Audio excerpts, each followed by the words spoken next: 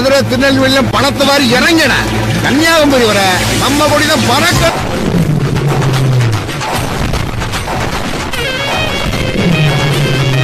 எல்லாத்துக்கும் ஒரு ஜாதிக்கு ஒரு தலைவர்னா ஒன்னு இருப்பாங்க ரெண்டு பேர் இருப்பாங்க.